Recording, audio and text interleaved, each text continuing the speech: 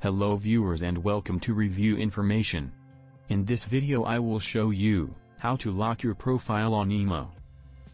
Subscribe to my channel and hit the bell icon to get notified any updates. To begin, open imo on your phone. Tap on your profile icon from the top left corner of the screen. A menu will open. Select, Security and Privacy. Swipe up to go down. Under Privacy section, tap on Profile Privacy. Then go to Lock Profile. Here you will see the Lock Profile option.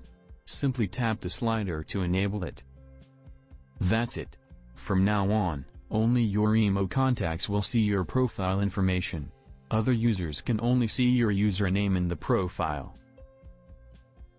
So in this way, you can lock your profile on imo. Thank you for watching. Hope you guys enjoyed my video. Please subscribe my channel for more videos. Goodbye.